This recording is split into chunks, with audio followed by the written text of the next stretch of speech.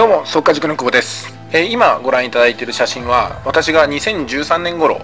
麻雀店をねまだ経営してる頃ですね。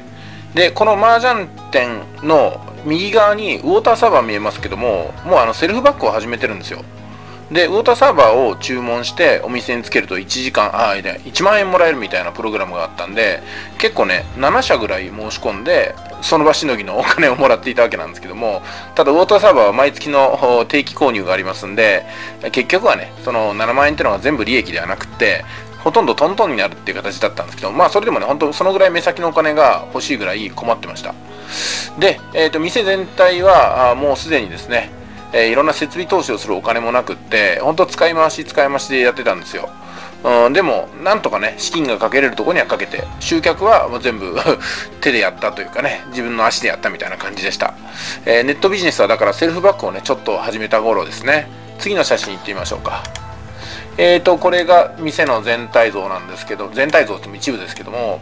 まああのお客さんが入ってる時間にこうやって写真撮ってますけど後ろの方にメニューとか書いてますよね。アルコールメニューとか。これだから自分のパソコンで、え印刷したもので本当全然お金かけてないです。本当はこれ外注してやらないとねかっこ悪いんですけどもまあまあこういう質の悪いね 店内メニューとかでもなんとかこらえていただいたってことかなと思います。え次。これ待ち席の様子ですね。えーちょっとね待ち席閑散としてるように見えますけどももともと私の店って12個麻雀卓があったんですよ。12個ですよ。でも12個を実はねもうお金がなくって麻雀卓をこっそり1個ずつ売っていったんですよ。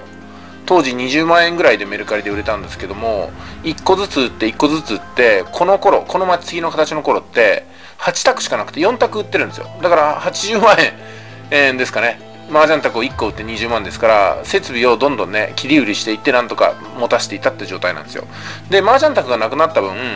えー要するにお客様に提供する場所が減りましたからこういうふうにね待ち席を広く取っていったっていう作戦になってますよね。だから店店内的にはなんかねすっきりしたように見えるんだけども卓が減ったってのは気づかれにくかったんですよね。次行きましょうか。えーこれはですねついにあのー麻雀をするんではなくて講演会をやって店内で店内で麻雀をするんではなくて講演会であの麻雀プロの方を呼んでねそれでおしゃべりをしてもらって売り上げを上げるっていう方向にシフトしした時です。この時は確か1日 ,1 日でね20万円か30万円の間が売り上げになったんですよ。でこのプロの方を呼ぶのに10万円ぐらいかかりましたんで、えー結構ね大きな利益十数万円の利益が上がったんですよ。通常の営業では十数万円の利益が上がることってなくって、あのーまあ売り上げが10万いかないですから。で従業員を3人ぐらいは最低雇ってますんでそうなるとね売り上げが67万でも残るのって3万円ぐらいででそれにテナント代とか他の経費払ったら本当にねマイナスにならないかなるかっていうところ損益分岐点ギリギリなんですよね。うん、そういう時にこういうふうに講演会をすると人は集まりやすくって満足度高くって儲かるなみたいなことをねやったんですけども時すでに遅しでした。ちなみに店内いっぱいポスター貼ってますけど全部自作でございます。だからちょっとあーなんていうかな換算なんか汚いっていうかね、えーなんか統一性ないですよね。次。はいえー、ともうついにね麻雀卓が123456台になりました。スッカスカです店内。でも、まあ、まばらにしてですね広げて通路を広くして6台やることがバレにくくしてます。でも実際はねきつかったです本当に。6体6択になっても埋まることがなかったって感じですかね、えーもう最盛期はね12択あっても帰ってもらうぐらい人が来てたんですけどもなかなかうまくいかないもんです。えー次の画面ですね。これ映ってるのがあちょっと女性が映ってますね。私の奥さんになる人ですね。当時まだあこうやって写真の、えー精度も荒くっていきなり撮ったんであんまりいい表情作ってないですけどね。すいません。え次。これね当時私誰かわかんないけど有名人が来るっていうんでお会いしたんですよ。まあ、ですんでこれがね泉忠さんだと知ったのはその後になります。それからあなんかノアコインとかですか？ああいうのがありましたけども、まあ、私はノアコインとかね泉さんが販売してるの時にはあまり縁がなかったということになりますけどもね。えーとこれ9周年で麻雀大会をやったんで2015年の4月ですよね。で9周年の麻雀大会は華々しくやったんですけどもダイソーの鯉のぼりとダイソーの、うん、兜 で本当にね設備投資がこれぐらいがやっとでしかも9周年ってやって大々的にやったんですけども10年目は来なかったということですね。これが4月ですからこの3ヶ月後にちょうど3ヶ月後7月19日に営業最終日を迎えたんですよ。当然4月19日の時点でこの私のね麻雀店オープンリーチがなくなるっていうのは従業員さんも知りません。ええ。で次。これがだからねその日の麻雀大会の様子ですね。やっぱ麻雀大会をやると賑やかになりますね。でも麻雀大会って結構賞金が大きいんで店的にはあのー、集客はできるんだけども売り上げ上がんないって感じですね。売り上げっていうか利益が取れないって感じですね。痛かったですね結構ね。はいこれ麻雀大会の様子です。こういう風にね動いてますね。はいじゃあちょっと次の画像いきましょうか。あこれはアイドルさんがいっぱい映ってますけどもまあ麻雀店をやりながらねなんかこの土日とかを中心に地元のアイドルさんが活躍する場をちょっとお手伝いしていたということがあります。今はねこういう風な形でやってないんですけども可愛らしい女の子がいっぱいね未来に向かって頑張ってるところ本当に素敵だなと思います。はいこれもそうですよね、えー、中にはね今でもこうアイドルスターとして頑張ってる方もいるんではないかなと思います。はい次の画像がちょっとショックです。あ赤ちゃん泣いてますはい、私の動画にね、たまに大和くんの声が泣き声が聞こえるということもありますけども、子育てしながらでもこうやってね、情報発信できるよってことでもあると思いますので、皆さんもね、子育て忙しいけども、情報発信していけるんですよってことをね、受け止めていただければと思います。さあ、次の画像がちょっとね、ショッキングなんですけども、これ私の店がね、閉店して潰れた時ですね。こうやって麻雀卓は6台こうやって整理してるんですけども、これ全てね、売り先が決まった状態です。まあ、ですんで本来だったらこれ売れてなかったら中古に引き取り出したりとかねもしくは粗大ゴミに出したりお金がかかるんですよ。売れたから良かったかなと思いますけどね。これから発送するんですけども発送がまたねこれだけの大物ですから高いんですよね。送料がものすごくかかってあんまり儲かんなかったっていう思い出もあります。はい、えー、これがね卓をほとんど売って残り1台っていう状態です。広い店内もこうしてガラーンと見るとちょっと寂しいですね。とちょっと今日はね大和くんがよく泣くんで中断しましたけども次の画面いきましょうか。えー、とこうやってこれはねもう販売ができなかった備品ですね。これはあと廃棄業者に来てもらってトラックいっぱいくらとかでね引き取ってもらってるとこです、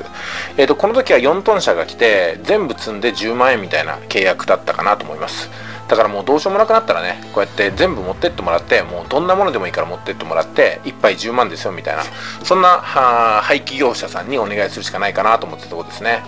まあ中古で売れそうないもんばっかりですねこれはね。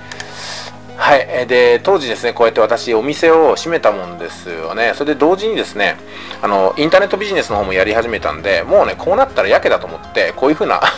こう画像を作ってですねお笑いで出してみました。これあのちょうどフリーエージェントスタイルの与沢翼さんがあの雑誌でこういう格好してるところがあったんでそれを真似して私もやってみましたね、えー、もう店も閉めてしまってもう本当に極貧だよみたいな演出をしたんですけどもまあネットビジネスの方がねうまくいってたんで、えーと、店がない方がね余計な経費かからずに利益が逆に上がったみたいな状態だったんですけどね。はいこれ廃棄業者に持ってってもらったとこです。あのトラックに1杯全部持ってってもらって10万円ってことで契約しましたね。実際はちょっとサービスしてくれたんですけどね。まあこうやって見送りながらちょっと寂しいなと。広島市中区のね本通り憧れの本通りで店を出したけども10年。10年で私は撤退することになりましたと。借金もだいぶできましたということですね。だから10年かかって毎年毎年300万円ぐらいの借金をっていうかね300万円支払いながら店をやらせてもらったみたいなそんな自爆営業でございました。はい、え、これも片付けてるとこですね、えー、黒猫大和の宅急便の箱にサイドテーブルなどを入れて梱包して発送するとこです。うん一つ一つの送料がねいくらかなって考えたらこれだけでも結構かかるでしょ。だからねこのなんですか閉店ってものすごくねお金かかるんですよ。だから閉店にお金がかかるんで閉店資金がないから無理やり営業を続けて傷を深くするみたいなそんなね店舗運営者の方多かったんじゃないかなと思います。それから地面見てください。地面がものすごくボロボロなんですけども修理するお金がないんで養生テープでね こんな本当にボロ屋敷ですよ。せっかくいい店舗を用意してもらっても私みたいなのが運営すればね、えー、こういうふうにしょうもない結果になるかなっていうところでございます。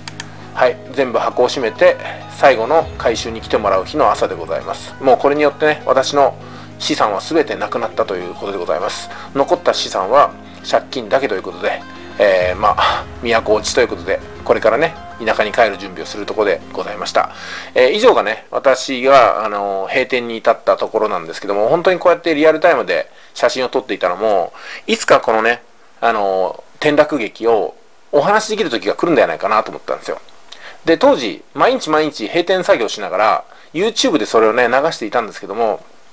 いやあの動画もね、当時のお客さん見ていてくれたかなとかね、速果塾の塾生さん見てくれたかなとかいろんな思いがあったんですけども、私の人生の記録としてこの YouTube っていうのはね、使ってるってところが多いです。え皆さんもね、いろんな人生があると思いますけども、それぞれ記録を取っていくと、うん、なんか後でね、こうやってほろ苦く振り返ることもあるのかなと思いますけども、いかがだったでしょうか？あまたこういうシリーズね、つまんないと思いますけども、やらせてもらいます。では、一旦以上です。